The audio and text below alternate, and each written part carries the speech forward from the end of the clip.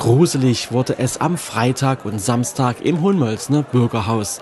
Die Tanzgruppe Sunflowers veranstaltete ihre Schwarzlichtshow. Diesmal unter dem Thema Alt wie ein Baum.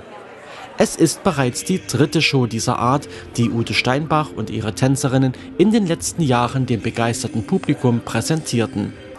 Wo sonst akribisch darauf geachtet wird, dass jeder Scheinwerfer richtig ausgerichtet und die Kostüme und Deko passen, gab es diesmal nur Licht und Schatten.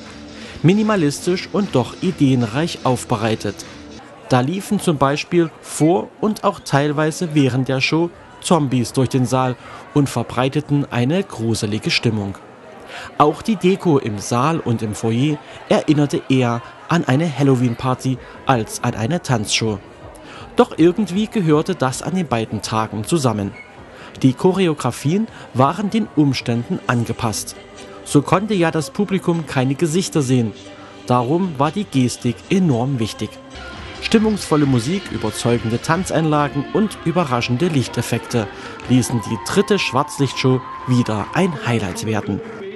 Ausruhen können sich die kleinen und großen Tänzerinnen aber nicht, denn in vier Wochen heißt es ja schon Advent, Advent.